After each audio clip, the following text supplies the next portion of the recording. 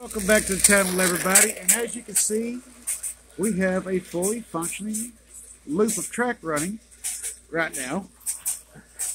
And that little 242 is noisy. as you can see, my two boys have got their train cars going. I did put the slope back tender on it just for fun from the other 242, which the other one is stuck in reverse.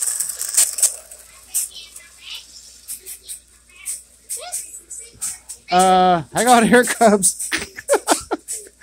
hey, we seem to have an issue with one of the Menards cars.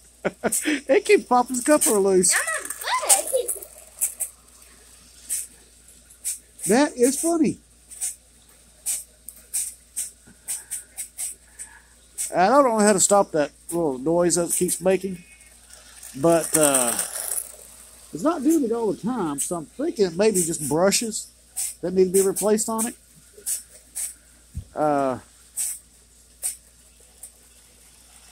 I'm not really sure.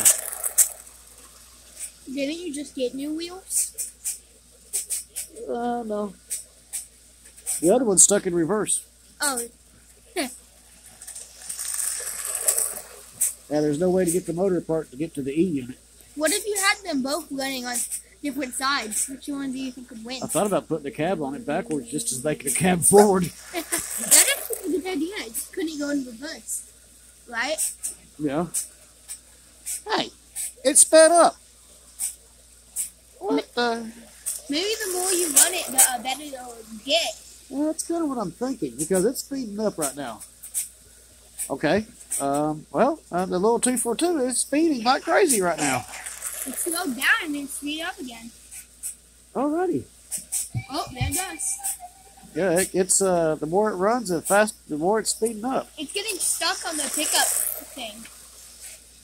Yeah, you keep running into it and bumping it back. I know it is. Kind of funny. we got a runaway rail car. I snatched it. That's kind of cool though that uh, Catnapper picked out a semi-scale gondola. And it actually looks pretty good running down the rails.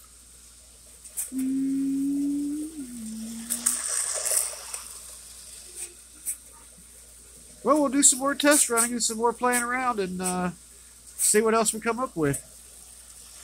And hopefully, uh, here in the next month or so, uh, Ron from Classic Model Trains will be able to uh, have my steam turbine repaired and have it back home, and we'll be running it before long.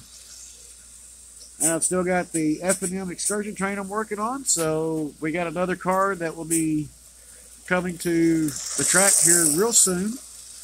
A 1950s O-scale scratch built, uh, and some other ones. So we're going to be some, doing some test running on some cars tonight, and probably be seeing multiple videos here in a little bit. So y'all take it easy, keep the shiny side up, and I will see you in the next video here shortly. There's a big one.